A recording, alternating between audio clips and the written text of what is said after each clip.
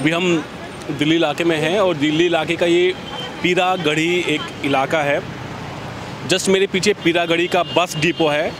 कोई अगर आना चाहे तो आ सकता अभी हम अपना अपन राजमा चावल पे खड़े शरीता जी का ये ढाबा है और चलता फिरता ढाबा है। स्कूटी पे अपना पूरा खाना लाते हैं और स्कूटी पे ही इसको बेच के चले जाते हैं। सबसे अच्छी बात यह है कि जो इनके पास में गरीब बच्चे या कोई भी ऐसा व्यक्ति आता है जिसके पास पैसे नहीं है या जो खाना खाना चाहता है, भूखा है उनसे कोई भी पैसा नहीं लेते। फ़िलहाल हमने इनका खाना टेस्ट किया, वाकई में बहुत अच्छा है। और अभी हम चलते हैं और सरिता जी से बात करेंगे।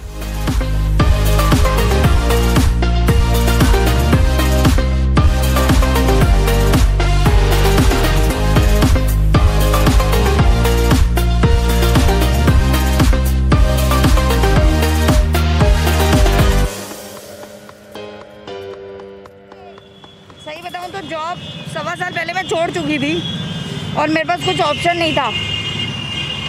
तो मेरे को यही था कि एक राजमा चावल ऐसा है कि मैं जब बनाऊँगी तो सब लोग खाएँगे उनको पसंद आएगा। मतलब जो हाथ में आपके दस्तकारी थी वही आपने अपना बिज़नेस बनाया? एक्चुअल में सही बताऊँ तो यही है।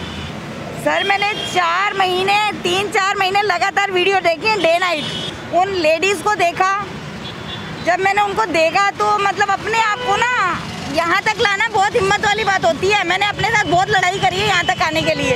मैं ऑलमोस्ट सत्रह साल में यूनिफॉर्म में ऑटोमोबाइल इंडस्ट्री में रही हूँ। तो वो लाइफ एसी वाली और वो बाबूबंती वाली थोड़ी सी बाहर निकलना बहुत मुश्किल था। वो दौर जो आप काम करते थे वो दौर और इस दौर में कितना फ़र्क है? कितनी खुशी आपको मिलती है? अभी आपने देखा ना कितने छोटे बच्चे हैं। मतलब आप तीन से चार साल के बच्चों को जब खाना खिलाते हो ना तो वो मदरहुड वाला फील आ जाता है। देखिए, ये तो एक हर धर्म में है, हमारे इस्लाम धर्म में भी है कि आप अल्लाह की बनाई हुई मखलूक की मदद करोगे तो अल्लाह आपकी मदद करेगा, भगवान आपकी मदद करेगा। तो ये तो आपकी ऐसी, ये काम ऐसा है जो कभी रुकने वाला नहीं है। आपने शुरुआत की है एक बच्चे से, दो बच्चे से। आप मन में ये भी चाहोगे कि मैं एक लाख बच्चों को खाना खिलाऊं, आप खिला सकते हैं। करने वाली ज़ात तो सिर्फ़ ऊपर वाला है। अब जो प्लानिंग है अब प्लानिंग ये है कि दिल्ली दिल्ली में अभी टीम वर्क हमारी बड़ी है। फ़िलहाल जो प्लानिंग है वो 25 स्टॉल की है और यहाँ पे नियर अबाउट 25 ऐसी लेडीज़ जिनको एक्चुअल में हेल्प की ज़रूरत है, जो चाहती हैं फ्रंट में आना और आ नहीं पाती। मैं उनके साथ बैक में खड़ी हूँ। अपने पे लगता है कि हाँ सरिता मतलब इंसान बन के मज़ा आ गया मतलब अब जाके लगता है कि पहले लगता था नौ से नौ की ड्यूटी शादी करी, बच्चे पैदा किए, घर चलाया, बस इसके आगे लगता था कभी भी मर गए तो कुछ लाइव है। सरिता जी एक एड्रेस बता दीजिए अगर कोई हमारा सब्सक्राइबर आना चाहे। पीरागढ़ी डीटीसी बस डिपो है। अच्छा। उसके नियर अबाउट है। ये मेन है। देखो डीटीसी देखिए मेरे पीछे आप देख सकते हैं डीटीसी का डिपो है पीरागढ़ी का। और पीरागढ़ी पे ही ये खड़ी में डीटीसी की बस डिपो के। अगर आप कोई आना चाहें तो आ सकते हैं। या आप खुद से आके चाहते हैं कि बच्चों को खाना खिलाएँ तो वो भी आप कर सकते हैं। अभी आते हैं जिसका जो दिल होता है कोई दस रुपये बीस रुपये पचास रुपये पाँच सौ रुपये जैसे अभी आपने डोनेट थाउज़ेंड रुपीज़ किए हैं तो ये बच्चों के नाम ये बच्चों की गुलक में जाते हैं?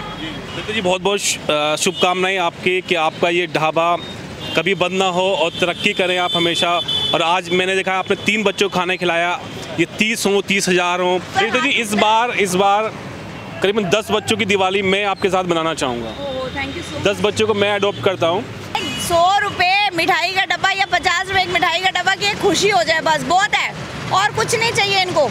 पचास बच्चों का कीजिए अरे thank you so much sir thank you so much मैं वैसे सेविंग करना शुरू कर दिया था इन लोगों के लिए पचास बच्चों का पचास बच्चों का दिवाली हमारी तरफ़ से और आप टाइम बताइएगा कि मुशाहिद भाई उस टाइम आना है हम आपसे फ़ोन पे बात करेंगे। Thank you thank you so much sir thank you so much by heart thank you so much अगर आप सरिता जी की मदद करना चाहते हैं तो क्यू आर कोड मैं आपको दे रहा हूँ।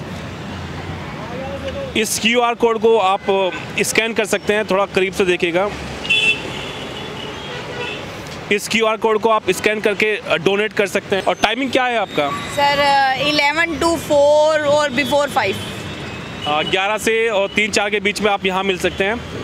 आप खूब लोगों की मदद कीजिए। आप जहाँ भी मेरी वीडियो देख रहे हैं आप इंडिया हैं इंडिया से बाहर हैं मैं हमेशा अपनी वीडियो में कहता हूँ कि ऐसे लोगों की मदद किया करो।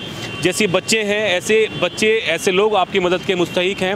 इनको मदद पहुँचाएँगे तो भगवान अल्लाह आपको मदद पहुँचाएगा। बहुत बहुत शुक्रिया। अगर आपको हमारी वीडियो अच्छी लगती है तो हमारी वीडियो को लाइक कीजिए, शेयर कीजिए और सरिता जी को यूँ ही सपोर्ट करते रहिए। बहुत बहुत शुक्रिया। Thank you so much thank you so much